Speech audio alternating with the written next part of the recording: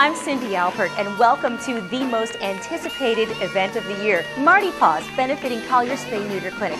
Now, things are about to start getting underway. We've got the silent auction going, drinks are flowing, and we have all kinds of surprises up our sleeves for you tonight. So, we're going to check back with you in just a bit and get ready to party New Orleans style.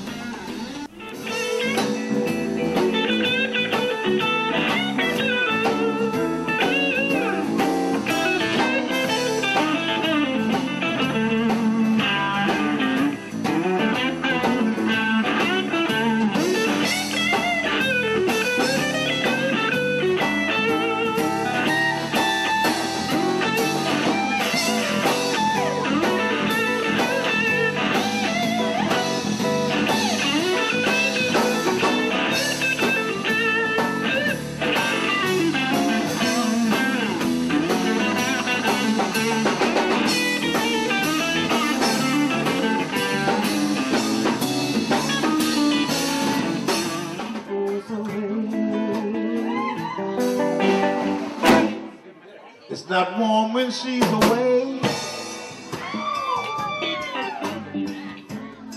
I don't know why she went away. Hope she don't stay.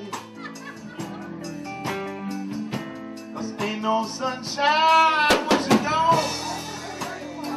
House can't be called a home if the woman gone away.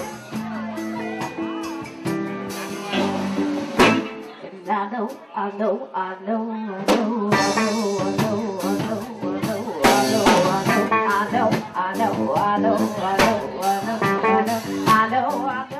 milk cows. Some folk in here done slapped some hogs. Some folk done fed some chicken. So if you done fed a chicken, if you done milked a cow,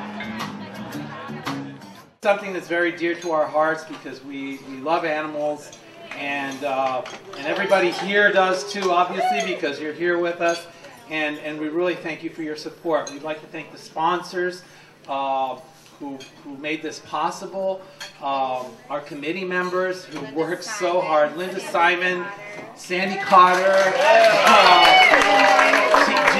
Gina and Brian McNellis help me here. I can't remember all the names. I'm, I'm, I'm doing all the work behind the scenes. Kathy Ahern. Uh, who else? Am I forgetting anybody? Tony Moretti. Moretti, Cindy. I mean, just it's it's a group effort. We could not do this without the support of the community.